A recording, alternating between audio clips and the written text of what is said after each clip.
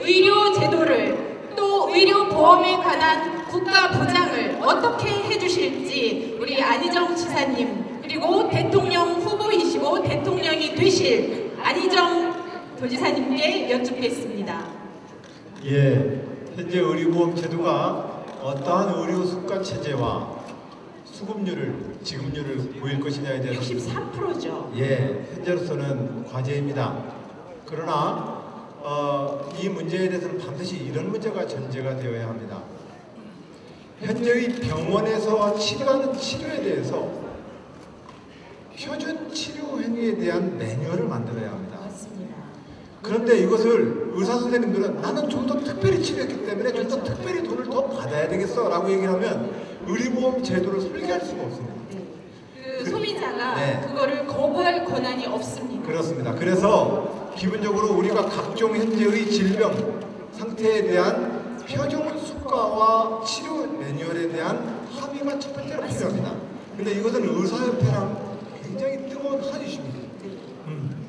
그래서 하듯인데 문제는 이 의료보험 제도를 통하고 우리가 어떤 병에 대해서 표준이 되어지는 어떤 치료 행위를 단가를 정해놓고 치료 행위를 정해놔야만 의료보험 제도에 대한 혜택을 더 넓힐 수가 있습니다. 맞습니다.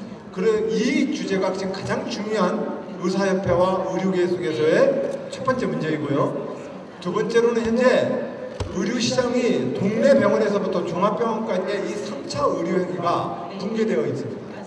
이래서는 현재 모든 사람들이 종합병원을 원합니다. 네. 그러나 이러한 정도의 이 종합병원의 수요는 의료 시장의 과잉 공급입니다. 공공 의료는 어떻게 생각하시나요? 그런 점에서 공공 의료를 저는 충청남도 도지사로서 도립병원 4개를 우리 경남도 도지사님은 문을 닫게 했지만 네. 저는 어떤 형태로든 간에 공공 의료와 됩니다. 지역의 의료 정책에 한 몫을 해달라고 투자를 강화했고 제가 의료 도립 의료원에다가 그래서 이렇게 요청했습니다. 공공의료 정책 때문에 돈 버는 막 과잉 치료를 하지 못해서 병원 운영이 어렵다 이렇게 말씀을 늘 하셨습니다.